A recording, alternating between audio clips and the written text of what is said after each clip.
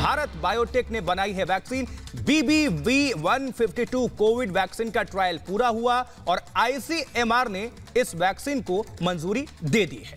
तो 15 अगस्त तक कोरोना से आज़ादी मिलने की खबर इस वक्त सामने आ रही है। जी हाँ स्वतंत्रता दिवस पर हो सकता है कि आज़ादी इस कोरोना के संकट से भी मिल जाए, क्योंकि 15 अगस्त तक वैक्सीन आ सकती है, ये खबर सामने आ रही है।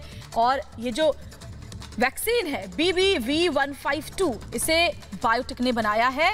भारत बायोटेक ने, और भारत बायोटेक ने पहले भी कई बड़ी बीमारियों के लिए वैक्सीन बनाए हैं। वैक्सीन बनाने का एक अच्छा रिकॉर्ड भारत बायोटेक का रहा है। उन्होंने रेबीज के लिए बनाया पोलियो के लिए बनाया। ये तमाम वैक्सीन वो बना चुके हैं। ऐसे में आईसीएमआर ने भी वैक्सीन को मंजूरी दे दी है। ये तीन तस्वीरें हम आपको दिखा रहे हैं। चौबीस घंटे में बीस मामले सामने आए हैं, और बिहार में शादी समारोहों में भी लोगों के पॉजिटिव आने का सिलसिला जारी है और कोरोना की वैक्सीन 15 अगस्त तक आ सकती है।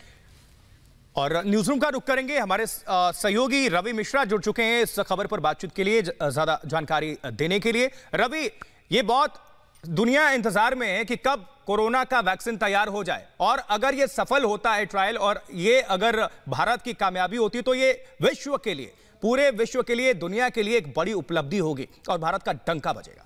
निश्चित तौर पर, निश्चित तौर पर सिर्फ़ भारत ही नहीं, हम कहें पूरे मानवता के लिए, क्योंकि इस वक्त इंसानी जिंदगियाँ पूरी दुनिया में खतरे में सात जुलाई से जो ह्यूमन ट्रायल है, उसकी अनुमति है, और ये आईसीएमआर की तरफ़ से कहा गया है कि 15 अगस्त तक हमें इस बात की पूरी उम्मीद है कि 15 अगस्त से ये वैक्सीन हम फॉर्मली ले आएँगे। देखिए सबसे बड़ी बात यह है कि आईसीएमआर ही नहीं बल्कि कई ऐसे प्राइवेट संस्थानों के कोऑर्डिनेशन में लगातार वैक्सीन पर भारत में काम चल रहा था। और दुनिया की बात करें तो ग्लोबली अगर अगर अलग अलग देशों की बात करें अलग अलग लेबोरेटरीज में तो सौ से ज़्यादा वैक्सीन पर एक साथ काम चल रहा था।